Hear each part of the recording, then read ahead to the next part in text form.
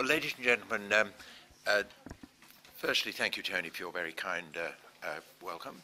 Um, funnily enough, Whyalla is, is why I live in Australia. Now, you may wonder that's a bit odd, but I was taken on by my firm that I've long since left 40 years ago uh, as a young design engineer to design the mechanical services and basically steward the water services for the Whyalla Structural Mill.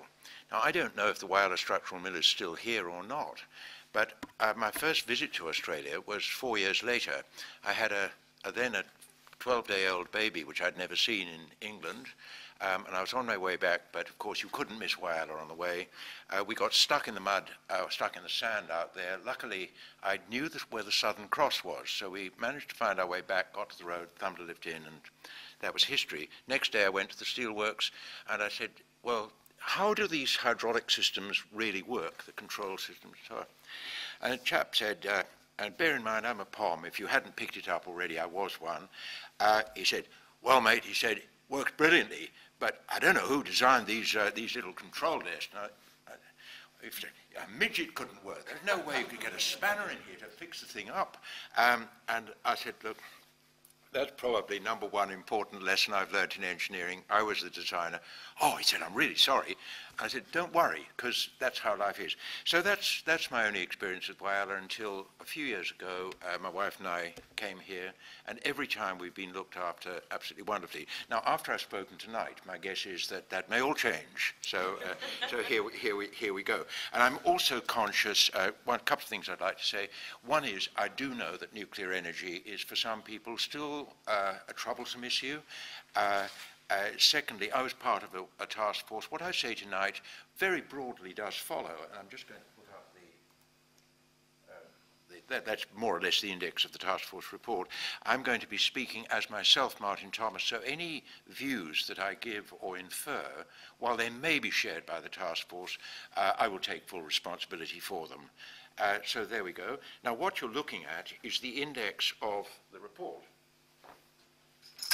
This is the report. Uh, it's 285 pages of very closely written stuff. You're all very welcome to read it, but it is a bit of speed reading as it goes round. I'll just start.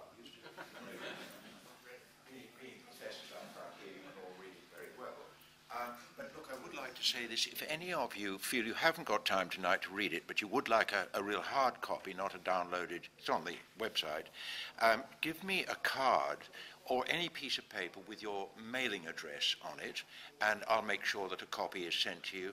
And for the university, if um, you, you wanted, say, five copies or ten copies, that can all be done. It was paid for by you, the taxpayers, and you deserve to have the outcome if you wish. Well, now you've all read what you can see on the screen, so I'll move straight on. Uh, the nuclear fuel cycle. Um, um, basically, uh, this is what we do in Australia, which is uh, mining and milling. And there are three sites we do it at at the moment, uh, Ranger, Olympic Dam, Beverley, two in your state. Uh, conversion is a matter, is, is offshore, done in a number of countries. Uh, the, plant I saw is Canada, where it's turned to Europe. Uh, I'll carry this around with me because I know I've got a bad speaking. Um, turn to uranium hexafluoride, then we go through to enrichment, and I'll show you some details of how that's done, where the 0.7% naturally occurring uranium-235 uh, becomes uh, about 3.5 to 5% uh, enriched. Um, it can be enriched considerably more, and I'll come to that later as well, but for power purposes, 3.5 uh, to 5% is what we do. Uh, it's then made into fuel fabricated into pellets, and in a second I'll pass a couple of those pellets around to you. Then a fairly conventional power plant, and again I'll go through that in the, in the presentation, making electricity. Uh, as Stuart uh, pointed out in his water use, the implication of that slightly higher water use than for coal is that the steam cycle is, is not as high steam conditions as, uh, as they are for a modern PF-fired plant. Uh, so it's, it's, uh, it does use rather more water for cooling. Uh, and then we go to the issues that do worry people quite a bit, spent fuel storage. And we do use the word spent, but it's not really spent. It can be recycled, and we'll show you that in a second. Um, but certainly when it comes out of the reactor, it is hot, nasty stuff. It's hot physically and it's hot radioactively, and it's kept in pools about 30 meters deep for uh, 20 to 30 years or so. Uh, and it does glow green in the dark, yes, and I've looked at it. You're fairly safe because uh, a meter of water is quite a protection enough, but 30 meters makes you feel more comfortable. Then eventually we come to the stage where we either recycle it, and this is a hugely expensive process. There are four such plants in the world. They're billion dollar or billion pound or multi billion pound plants, and uh, the, the uranium which hasn't been used can be uh, converted back or recycled. And as I think most of you probably know, with the present fuel cycles, this Gen 3, the pressurized water reactors and so on, uh, very small portion of the uranium is used. When we go to Gen 4, the fast breeder reactors, we can use, we can get 60 times the amount of energy out of the same uranium. Uh, however, eventually we do have to dispose of the high-level waste, and I'll come to that in a moment with some, some diagrams of how it's done. That's the thing that does worry people. I, as an engineer, feel that there is an engineering solution to that, which is what most countries are, will be adopting, and if Australia does go nuclear, of course, uh, we certainly will do that. So that's the nuclear fuel cycle. Now, the UMPNER process, uranium mining, processing, and nuclear energy uh, process, there was a feeling, I think, uh, somewhat cynical feeling in the public that this was a set up by the government. Well, I can assure you it wasn't. The six of us who came on all said to each other on day one, uh, did you know about this? I certainly didn't. I had very little knowledge of nuclear. I've got a lot of knowledge of energy, I think, and probably more on the renewables side because I ran a corporate research centre for it.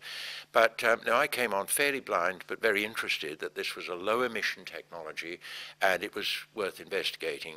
Uh, I was the only engineer on the group. There were six, uh, uh, six of us in all, uh, an economist, a couple of nuclear physicists, and, uh, and one um, radiation specialist.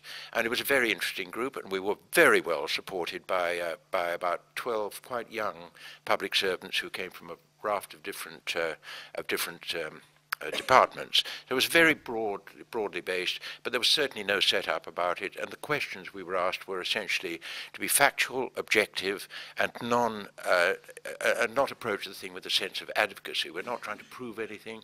At the end of the day, you, the people, have to choose, not us. We were simply there to put the facts on the table.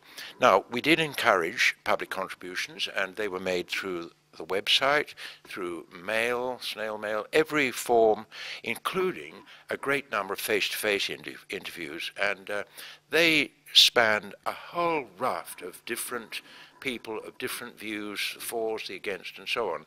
And in one, one particular rather interesting day, which perhaps was not characteristic, we saw within a couple of hours of each other, we saw uh, Mr. Hugh Morgan, one, and uh, Mrs. Sharon Burrow, the other, and I think one would have to say that those two individuals might represent uh, the remote ends of the political spectrum in Australia, and we saw everybody else in between. So we were very wide, very Catholic uh, in listening, and we listened to everybody, uh, and we read every uh, submission we got. Uh, we traveled overseas to um, the countries you can see there on the slide. Uh, in case there was any questioning about what Chernobyl was like, that was the one country I didn't go to. We split at that point because I wanted to see what the Brits were doing in Sellafields and Springfield and Capenhurst, uh, which I did, which was intensely interesting. But some did go to uh, Chernobyl, a very sad place. Uh, all those other countries are there for you to see, including Three Mile Island and Yucca Mountain we delivered our draft by November, and that was that was quite well written up in the press, Teddy and so on, uh, by Ziggy Switkowski at the press gallery, and we delivered the final report, the one that's moving around, by the end of December. So it was six months hard, and it was 24/7 much of that time, and it was a very great privilege to be a member of it. So that's what we did.